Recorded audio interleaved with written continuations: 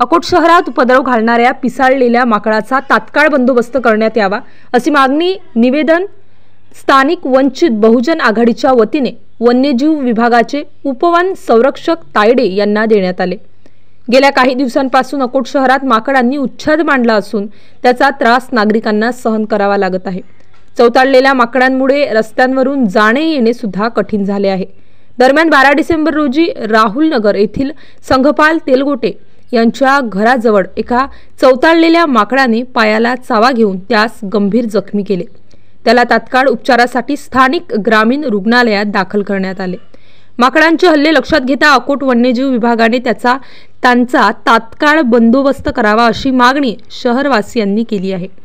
अकोट परिसराला सातपुडा पर्वत लागून असल्याने आणि शेतीचे प्रस्थ मोठ्या प्रमाणात असल्याने एरवी शेतात राहणारे माकडं खाद्यपदार्थ तसेच पाण्याच्या शोधार्थ शहरात दाखल झाले आहेत आणि शहरातच त्यांनी आपले बिस्तान बसविले आहे.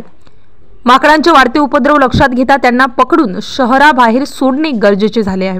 त्यासाठी वन्यजीव विभागाने पुढाकार घेऊन योग्य ते उपाययोजना करण्याची मागणी अकोट शहरातील नागरिकांनी केली आहे. माकडांचा तात्काळ बंदोबस्त न केल्यास तीव्र आंदोलन करण्याचा इशारा वंचित बहुजन आघाडीच्या वतीने देण्यात आला आहे. सदर निवेदन देतेवेळी वंचित बहुजन आघाडीचे पदाधिकारी रामकृष्ण मिसाळ सुभाष तेलगोटे सदानंद तेलगोटे लखन इंगळे इम्रान खान पठाण आदी कार्यकर्ते आणि पदाधिकारी यावेळी उपस्थित होते. एम सी एन न्यूजकरिता विठ्ठल एओकार अकोट.